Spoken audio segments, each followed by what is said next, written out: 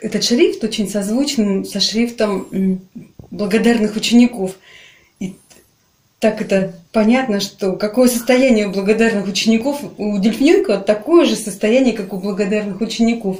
Такое же солнечное, такое же праздничное, такое трудолюбивое, неутомимое, такое очень теплое, сердечное. Ну, настолько соединено вот с композицией «Благодарные ученики» и помогает ощутить, а какой он дельфиненок, в чем его счастье. Открылся сам способ направить внимание к содержанию. Получается, нужно внимательно-внимательно всматриваться в буквы, в то, каким они цветом раскрашены. И вот этот вот труд по подражать вот этому цвету, этому свету, этому чувству. Вот. И, и направляться к самому чувству.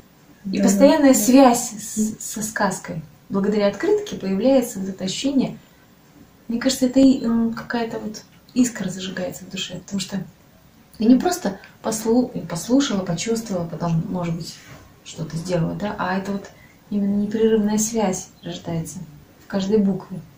Мне вообще кажется, что это очень сильно похоже на вот по, по смыслу, вот, о чем ты говоришь, на раскрашивание открыток с цветами. Потому что когда, насколько там стараешься настроиться именно на образ, да, и его проявить. И здесь вот, когда, если делать так, как написано, что примером для раскрашивания брать именно строки видеофильма, то я настраиваюсь именно вот на это счастье дельфиненка. И я, получается, его открываю, его понимаю, как бы с ним знакомлюсь, какое оно именно, это счастье дельфиненка. Вот оно вот такое солнечное, яркое, такое открытое, такое безграничное, на таком голубом безграничном фоне бирюзовом.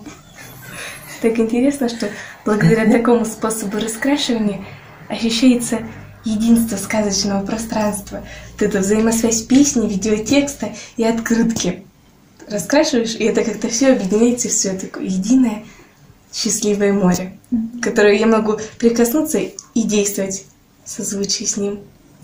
О чем поется, то ощущается. Вот край родной морской здравствуй, опять с тобой я. Вот эти строчки, вот эта игра, она, она и раскрывает.